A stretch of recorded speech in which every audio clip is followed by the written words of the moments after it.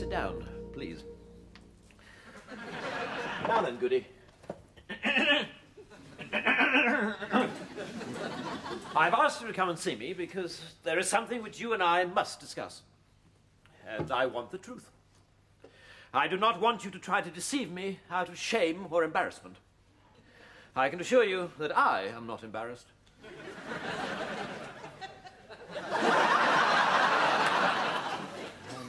Not embarrassed at all. right, good. So, uh, so here we go. Do you. Do you find me attractive?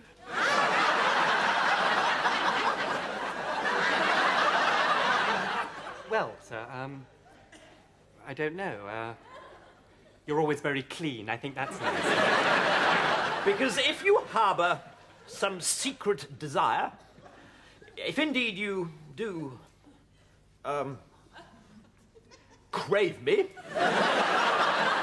physically, then we must, of course, have it out in the open. Are you propositioning me, sir? Don't be disgusting, you foul boy. Well, you said you wanted us to have it out in the open. I talk, I talk. I talk about the fact that clearly I've become some kind of fantasy figure to you. The fact that the idea of my near naked body decked out in flimsy female attire turns you on. don't, I don't, I don't think you look nice naked at all. Well, it won't help you to add insult to injury, laddie. No, no, no, no, I mean, I don't want to see you decked out in flimsy female attire, sir. Then what the hell is this Christmas present all about, then? Some disgusting, perverted attempt at humour? No, no, it's just so you can bend punches. You want me to fix my bicycle wearing women's underwear? God! I've given you the wrong present, sir.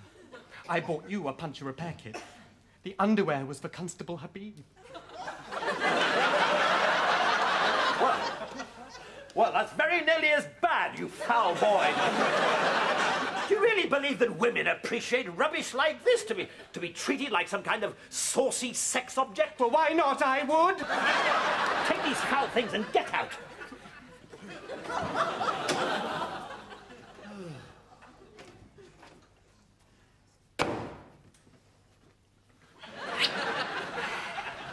Really, Sergeant Dawkins, we are on duty.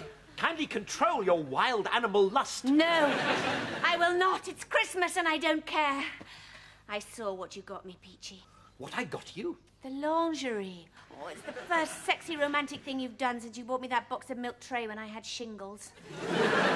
oh, I've always wanted some saucy undies. Real proper silky ones. God, it turns me on.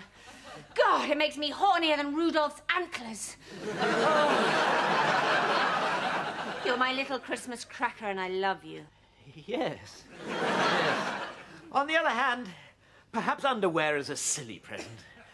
Perhaps you'd prefer something more functional. Why, you were saying only the other day how your how your toenail clippers were blunt. Raymond, I want my knickers. And if they're not in my stocking tomorrow morning, they'll be holly in your pajamas. but they will be. I know. After all, Christmas is for lovers.